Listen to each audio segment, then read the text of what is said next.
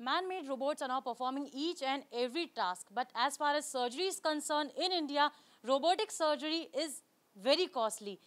Now we have Dr. Sudhir Srivastav with us who has designed a robot called as SSI Mantra robot which is the cheapest robot and which will perform the cheapest affordable robotic surgery in the country India. Dr. Sudhir, first of all, tell us that what kind of robot you have designed and what is its speciality? Yeah, so this one is a multi-arm mantra system and uh, this has up to five arms, so we can use five arms. Uh, and uh, one of the differentiating features of this particular robot that each arm is placed on a separate cart, so we can place them wherever uh, based on the surgery. Secondly, we can add more arms if necessary based on the procedure. And uh, so the way the robotic arm and the principle works is that the surgeon sits on the surgeon command center. So it is literally a remote operation. And through a series of computers and the signals coming into these robotic arms, and they go into the instruments. And so in the patient's body, a camera goes which acts as a human eye and this is a very specialized 3D high definition camera so it gives a beautiful magnified view. Then these instruments uh, are placed in through literally uh, uh, fingertip size incisions. So the, one of the biggest advantage that we can do very complex operations utilizing this system. What kind of operations can be performed? Yeah. What kind of surgeries can this robotic surgeon do? Most operations can be done uh, in abdomen, in chest, in head and neck. So literally except the neurosurgery today and orthopedics uh, uh, this particular robot can perform almost 80% of most of these operations. Uh, generally, of course, surgeon sits on the surgeon console, and then you need two assistants here by the table side who actually change the instruments and bring the supplies in. So it's a small team, and uh, the biggest advantage is that these complex operations can be done through tiny incisions, so one does not have long incisions. And so they recover very fast. There are less complications. There is less use of blood and these people recover much faster in the hospital as well as when they go home. So people can be back doing their normal stuff within, within one week to two weeks time frame. How affordable it is? Yeah, so our the cost, extra cost because of the technology for the patient will be somewhere between 30 to 50,000 rupees only in India, and which is very close to the laparoscopic surgery. But the benefits of this shorter hospital stay, so the costs go down there. Then you don't have complications, so you don't spend money.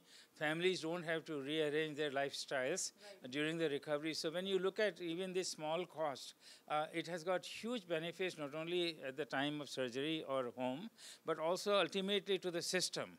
But when it will be available in the market for the patients and uh, the hospital buyers as well? Yeah, so we are hoping to launch this thing in later part of March or first part of April. It should be available in the hospital. We already have validated uh, the system in the past with a clinical trial, and we will do another short clinical trial uh, soon this month, and then it will be available in the hospital. So quickly and briefly, if you could explain me the mechanism, complete mechanism of this of this robotic yeah. system. So if we come here first uh, to the surgeon command center. Yeah so this is where the camera that we uh, talked about earlier.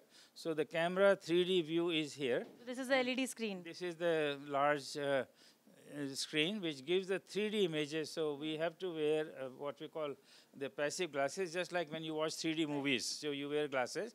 So this way you have a beautiful magnified high definition view.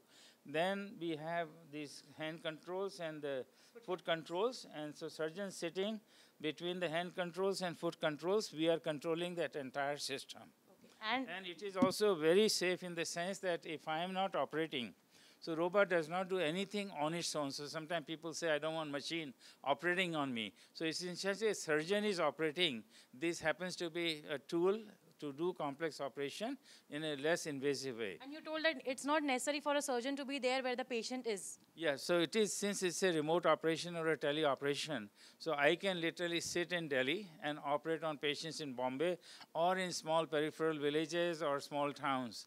And so through high-speed connectivity or 5G as it comes, we can literally take this technology to very many places actually and offer the people they don't have to travel. And it's completely based on the concept of Atmanirbhar Bharat. Yeah, I think so. First, it is made in India.